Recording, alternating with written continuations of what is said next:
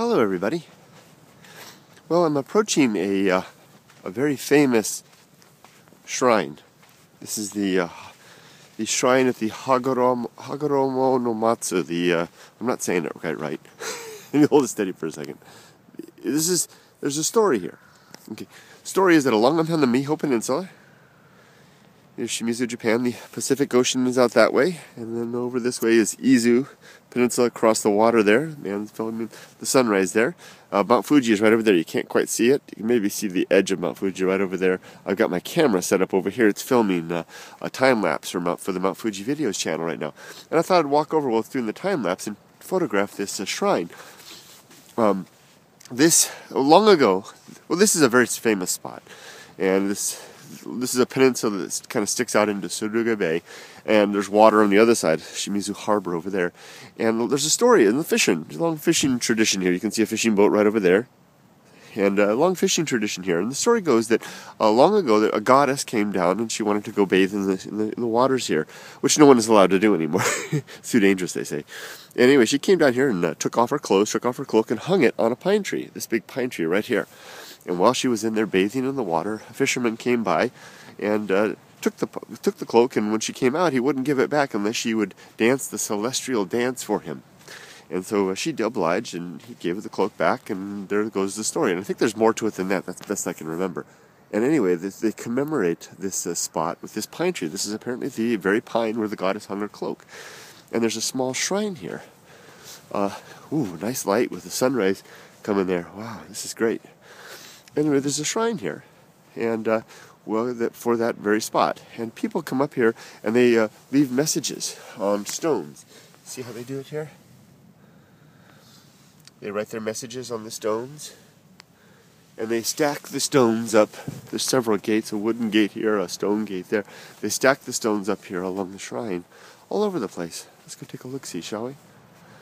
Passing through the Shimenawa here under the Torii Gate. That's where you do your offerings, and here's the actual shrine itself. See all the little stones here? It's all stacked up with messages, I guess prayers and the like.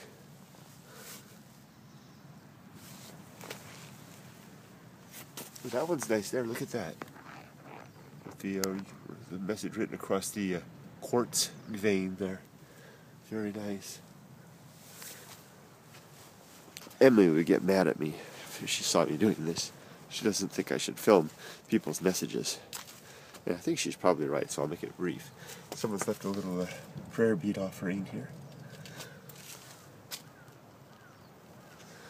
More stones here. The Japanese are very interested in round stones as uh, offerings. Pass back through the torii. Pine cone here, from, the, from one of the sacred trees. Let's go ahead and walk around. This gentleman here was filming the dawn, as I was.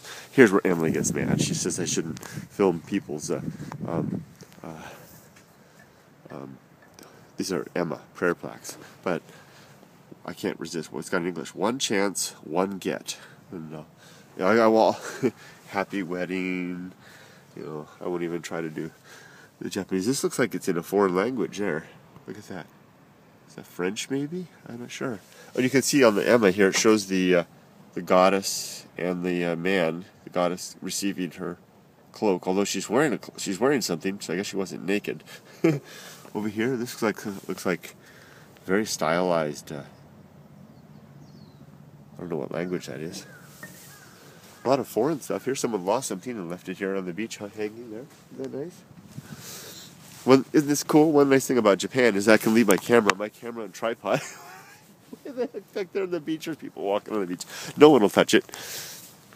There's uh, more prayer uh, ropes or prayer uh, uh, papers. They they receive these and then tie them up. Look at these. These these trees are all leaned over. Isn't that cool? Uh, brings back memories when Emily, my daughter, was a little girl. I take her here and I would, not this one, that one way over there she would walk up there and I'd hold her hand and she'd walk up that pine and then she'd get to the top and jump off into my arms up there too. She and I used to come here when she was little. Oh jeez.